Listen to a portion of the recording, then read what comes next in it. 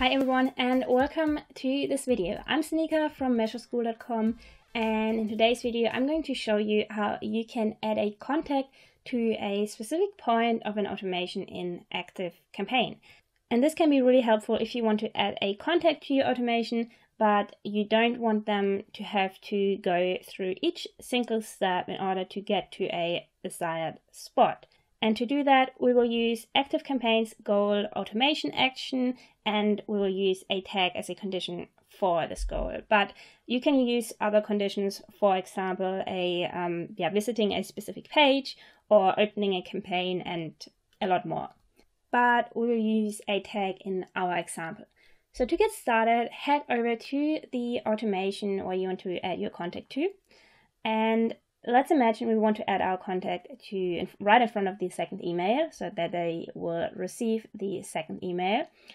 So then we have to click on the little plus icon right um, before that and click on conditions and workflow and then select goal. And right here we have to type in the name of the goal. You can basically choose any name or we just call it jump to goal.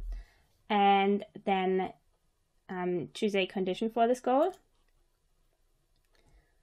As I already said, we use a tag. So let's type in tag exists and we call it jump to goal.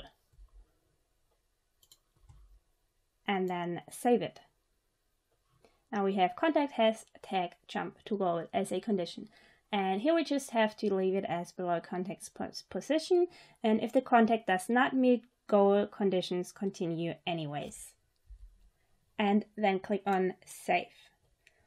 So now our goal is set up the right way. Now we have to add our contact to this specific point. So let's head over to our contacts page in ActiveCampaign and search for our contact. You can do that by name or email address.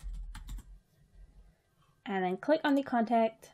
And now add the tag was just created and the automation manually. So let's click on tag and type in jump to goal and then also add our contact to the automation and in our case it's test.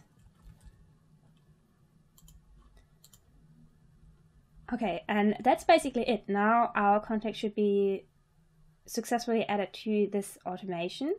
Um, we can actually see the path of the contact if we click on the automation and then click on view.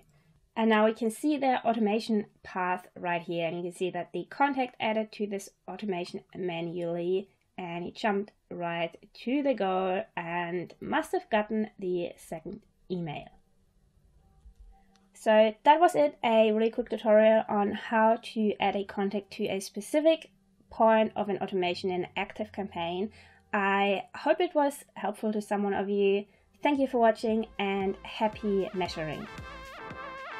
Hey there, did you like this video? Then hit that like button down below.